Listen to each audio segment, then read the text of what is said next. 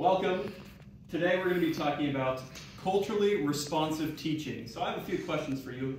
Also, by the way, this is Ryan Clemenson, my co-teacher. Oh, thanks you for having me today. I really appreciate that. Hi, I'm Lisa Ross, and I am in my 31st year of teaching here at Las Plumas High School. I teach English 9, but I've taught other grade levels along the way, and this year is my honor to co-teach with Max Goolsby.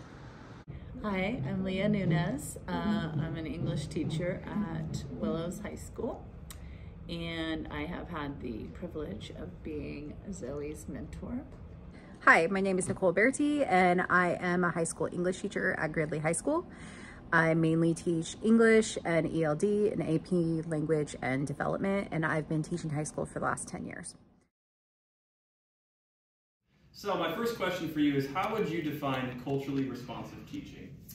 Well, I believe culturally responsive teaching could probably be best defined in a nutshell as pay attention to the color of your kids. They don't all come into the same shapes and sizes, and certainly not from the same backgrounds or the same creeds. And you've got to figure that out. You've got to figure out who your population is made up of, because otherwise you are going to be absolutely um, at a disadvantage trying to create curriculum that's going to mean anything to them. Um, I would define it as incorporating the students' backgrounds, their cultures into the learning.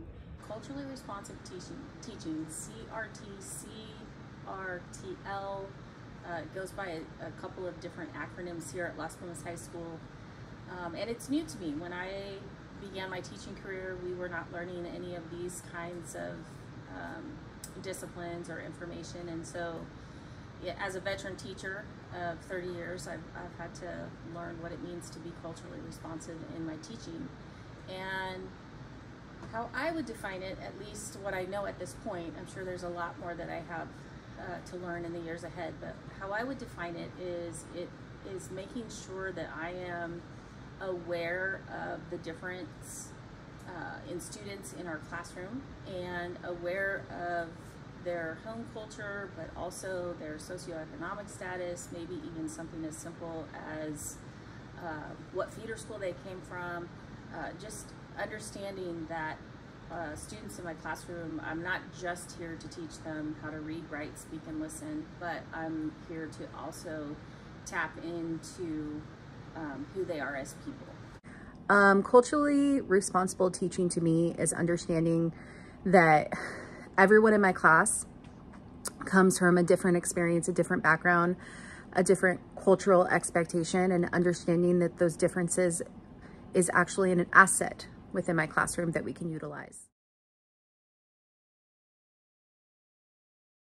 Another question is, what does this actually look like? What does culturally responsive teaching look like in your class?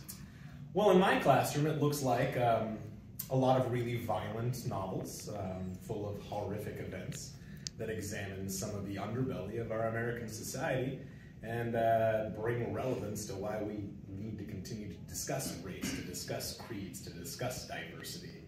Um, and I found that through the selection of certain novels, particularly The Devil's Highway, I'm really able to connect with the heavy Latino population in my classroom and find that I get a lot more engagement.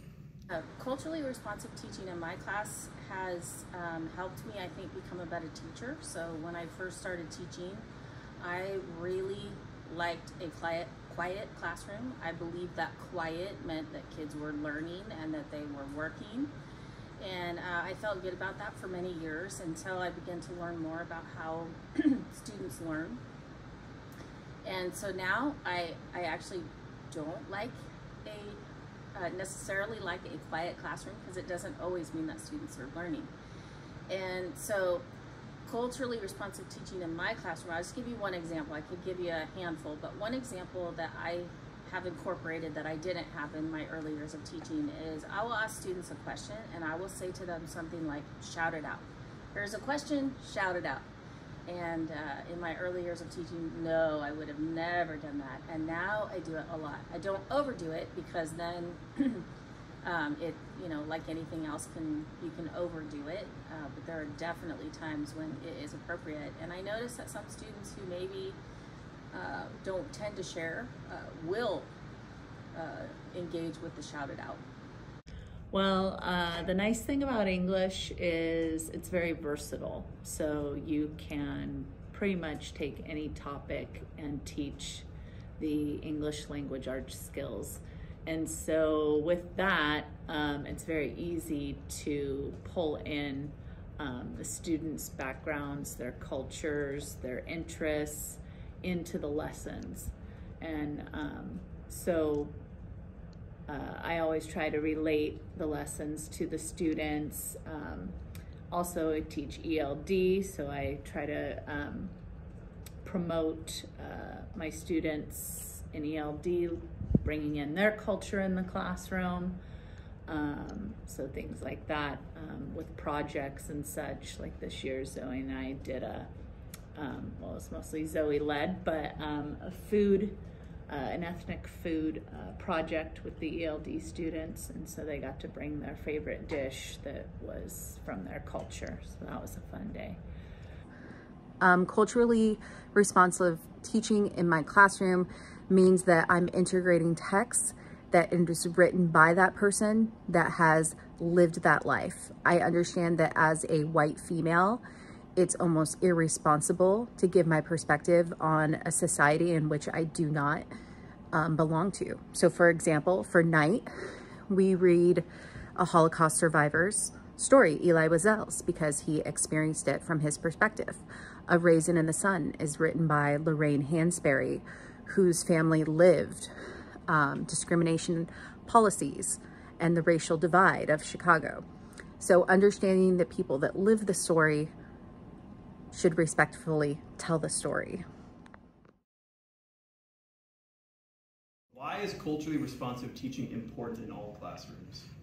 Well, a great professor at Chico State once told me that the most effective classroom management is an engaging lesson. And circling back to what I started with, you cannot create an engaging lesson for a diverse classroom, especially in the state of California, without culturally diverse teaching, without that culturally responsive teaching and selecting things that it can connect to your students. Um, if you choose not to and you just go ahead with whatever feels good, whatever you enjoy, whatever is culturally resonates with you, um, you might enjoy it for a year or so, but you're going to slowly watch this trend of disengagement with your students, and well, your class sucks. It's going to be boring. In order to engage the students, uh, they need to feel like you know they have some connection to what they're learning and obviously bringing in their culture and their background to the lessons um, and into the classroom validates them and makes them feel included and hopefully invested in the learning. Uh, important because I think in the information age, we're starting to learn um, a lot more about how people think, um, a lot more about how people connect with one another, how we inter are, are interrelated with one another.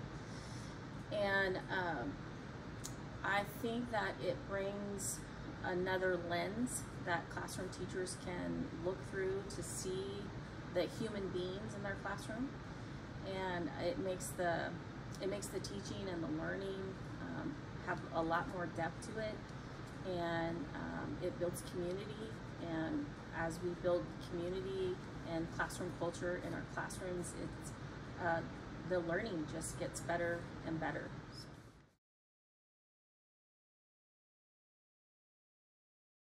So, thank you, Ryan. Appreciate you taking time to talk with me. Well, thank you, Mr. Shiflett, and good luck, resident teachers. I wish you all the best in your next year of educational adventures. Clemenson out.